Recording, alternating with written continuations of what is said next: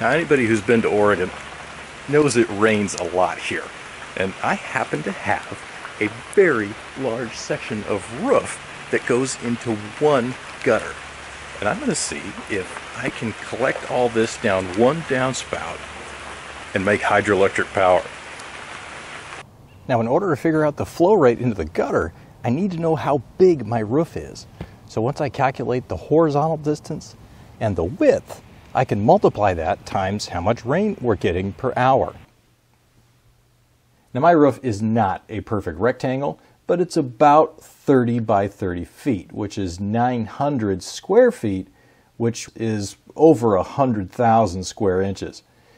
Now, moderate rainfall is anywhere from 0.1 to 0.3 inches per hour, which, if we multiply times that area of the roof and convert to gallons, it comes out to over a 100 gallons an hour of rain on that roof. Now, if we want to break that down into minutes, divide by 60, and it's almost two gallons of rain a minute coming off of this roof into that single gutter. But let's be honest, a gallon or so of water per minute is not a lot. So while we could use a standard water wheel that works on the weight of the water, we're going to try a special kind of turbine called a Pelton wheel to maximize the amount of energy we get from our water. The cupped blades of a Pelton wheel force a jet of water to take a U-turn, which converts almost all of its energy into motion. And here's how we demonstrate that. When I spray the wood, it's just bringing the water to a stop. But when I move over to the bowl, it's stopping the water and sending it back at me, which is double the change in momentum. And that's why the pendulum is going higher with the bowl. Now, Pelton wheels have been around for a very long time. Lester Pelton invented them back in the late 1800s, but they are still notoriously difficult to produce. So rather than build them from scratch, I'm just printing it on my 3D printer. But when I test the Pelton wheel under a faucet, it looks pretty much like any other water wheel. That kind of makes sense though, since they're supposed to run on a jet of water. But how do we make rainwater squirt like a jet? Hydroelectric dams get their water pressure from the height of the water behind the dam. To try to replicate this effect, I'm using my hose to pour a gallon a minute of water into the top of a vertical pipe. As soon as I drill a hole near the bottom, the water comes shooting out. Now I'm concerned I may have restricted the flow, but when I time how long it takes to fill a gallon jug, it's still good. And when I position the Pelton wheel in the jet of water, it spins three times faster than it did under the faucet. That actually worked way better than I thought it would, which I guess is an indicator of how important height is in hydroelectric power. And think about it. This jug by itself isn't all that impressive, but if you had to lift it back up to the gutter where it came from? That sounds like work. And in fact, in physics, that's what we call it. Force, in this case, the weight of the jug, times distance, how far you lift it, equals work. And if we multiply that times how often we have to do it, we get power. And it's really important that I know how much power we can expect to get out of this. Because if it's not enough, I'm not going to waste my time building it. Now, to be able to calculate how much power is available, I need four things the flow of water, the height that we're working with, the density of the water, and the effects of gravity. Now, we already figured out flow in gallons per minute, but this is way easier in metric, so I'm converting to liters per second. I'm estimating the height in meters, and of course density, kilograms per liter, and acceleration of gravity, multiply them all together and the units work out to watts, which we are now getting almost exactly 2 watts. That's not a lot of power if you compare it to a 60 watt light bulb, but hopefully it's enough to light some LEDs and maybe charge a phone, if we can convert enough of it to electricity. Now, most of us know electricity will make a motor turn, but did you know we can reverse that and turn a motor to make electricity? For example, just flicking the shaft of this tiny motor is enough to light an LED, but the conversion isn't perfect. Only some of the energy turning the shaft gets made into electricity. This is because inside the motor are lots of moving parts that lose energy to friction. This is the case with every device we use. Only some of the energy we put into it actually does what we want it to do. The rest is lost. In a motor or generator, this is due to mechanical friction in the shaft and brushes, electrical resistance in the wires, and even magnetic losses as the magnetic fields get flipped around. Now, dividing the output power by the input power tells us how efficient our generator is. I'm guessing we're only going to convert about 50% of our energy to electricity, meaning we're only going to get about 1 watt from the 2 watts we have available. Plus, we still have to decide on a motor for this project. One of these is built for 10 times more current than the other, but is still too small. What we need is a much bigger one, purpose built as a generator for much larger current. Ta-da! Man, I love the internet. Now that generator is built for 12 volts at 3000 RPM. I need to know exactly how to, fast to spin it to get at least 5 volts. So I've checked it up in my lathe and I have something called a Strobotac that flashes light at a very precise speed to make it look like the chuck has stopped moving. So you can see I've got it running almost right at 6 volts. And if I turn the lights off, Alexa, lights off. You can see it looks like the chuck has stopped moving. But the readout shows 1900 RPM. So I know in order to get 6 volts, I need 1900 RPM on this motor. Okay, we've gotten to a point in the project where I can't do a lot more experimenting without building the actual setup. So I've enlisted my son to help me and we're just gonna put it together, mounting it to the fence. I'm using a clear plastic piece of PVC so we can see if the water level is actually filling up the pipe or if it's getting clogged up with leaves or something. Honestly, one of the things that kept me from doing this project was knowing I was going to have to rip a downspout off the house, but hey, there are sacrifices that must be made. Now that I'm ready to test this thing, there's not a drop of rain in sight, so we're just going to use a garden hose to give us about the right amount of flow.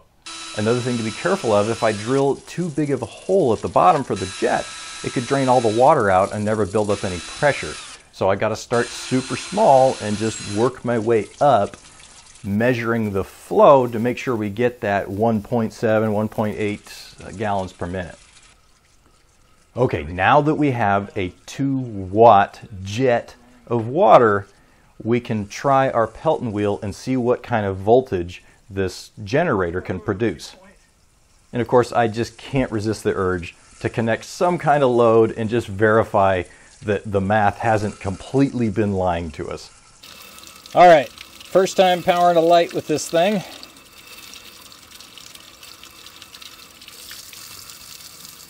Hey!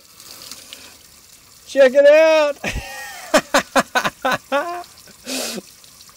it's glowing bright. All right, this is, uh, what is this, like 1.7 gallons a minute? We're using a hose, so we're not exactly generating power but we are converting uh, hydro, I guess, water power. This is hydroelectric. We are using uh, water to generate this power and turn on our little LED. I can't wait to do this for real. All right, shut down the hose, please. Okay, that was awesome, but there is an issue.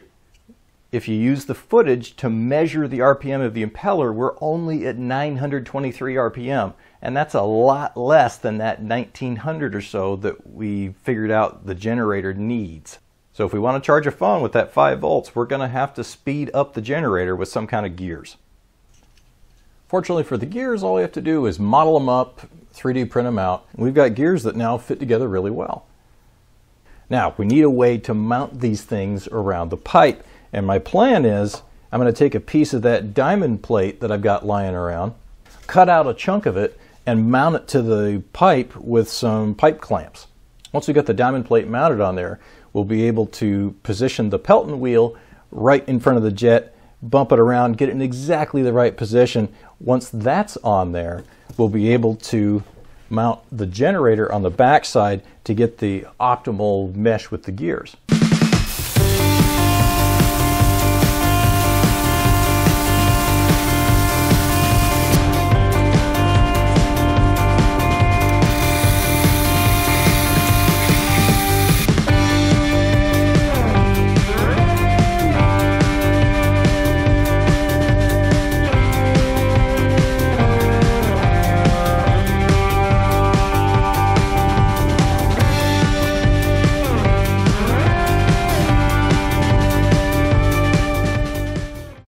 Too bad, huh? Got the Pelton wheel lined up with the pipe. I'm planning on just shimming these brackets in and out to get it directly on center with the Pelton wheel. And now we have our little gear on the back. And all we need to do is position this somehow to mesh as good as we can with that. I'm thinking I'm going to use this piece of material, cut off a little bracket, sort of have a swing arm thing going here that a little bit of the weight of this will help engage it. And if I need to, I can add a little spring with a tensioner.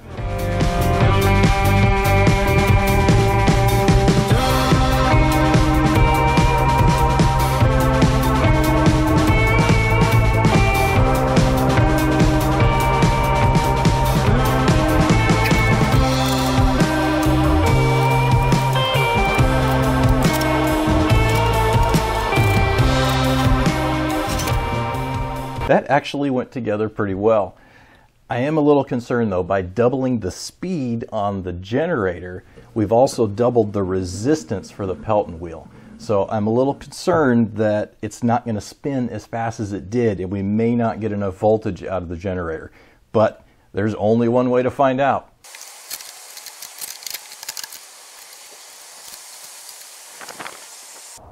Okay, we've got it mounted up. I'm going to turn on our artificial rain and see how she does. Oh, hey, squirting back at me. The Pelton wheel's doing its job. Does it go on its own? That's what I want to know. We're not quite at the full pressure yet. Come on. Okay, now we're at full pressure and it's uh, it's coming back at me. Look familiar? And if I give it a little help. No. Okay, we got to put, reposition it. Have I, am I, oh, I'm clogged.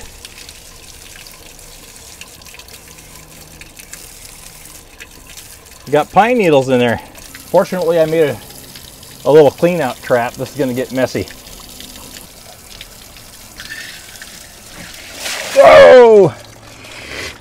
Did that clean out my needles? That looks a little more like a nice jet, doesn't it? Come on, Pelton, don't let me down. Hey! Okay, nowhere near the speed we were getting, so let's see. That's uh, barely over a volt, so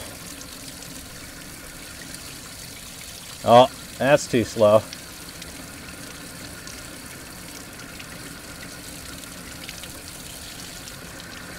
Oh, that's faster. Two and a half. Oh, what happened? Oh, did I get more debris in there? It spit it out though. Whoa, all of a sudden I'm getting 2.7. 2.8. What'd I do? All right, I'm gonna try adding some lubrication to the uh, to my gears back here. See what happens.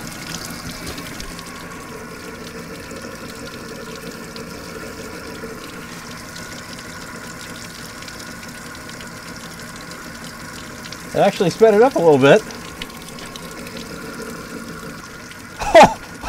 it jumped over three. See if I can get some on that I know the bearing is sealed, but why not?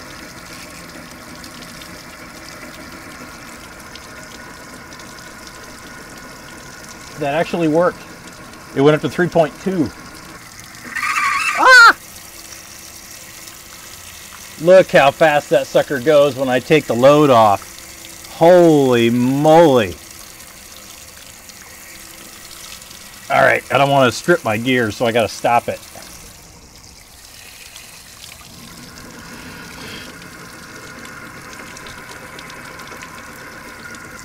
Okay, when I lift a little bit on the, uh, I'm actually lifting the generator a little bit so it isn't pushing the gears as hard together and it's speeding up quite a bit. So I gotta, I'm gonna pause it for a second make some adjustments. I saw it get to four volts.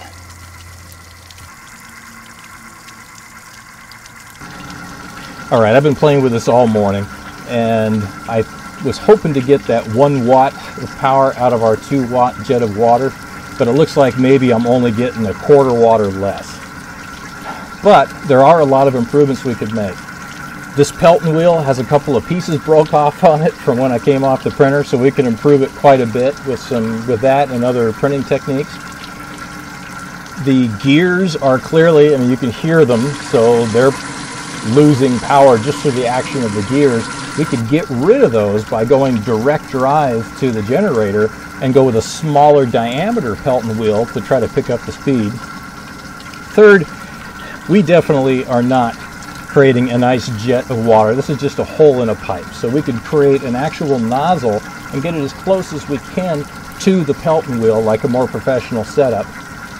And fourth, the generator we're using is kind of overkill. It's designed to be able to do 30 watts of power when we only want one. So there's a lot of mechanical losses in there we don't have to put up with. So I could try a smaller generator. So that's the end of part one of generating power from your rain gutters. In part two, we'll be making all those improvements I talked about and see if we can get up to that full watt. Until then, please like, subscribe, and I'll see you in the next video.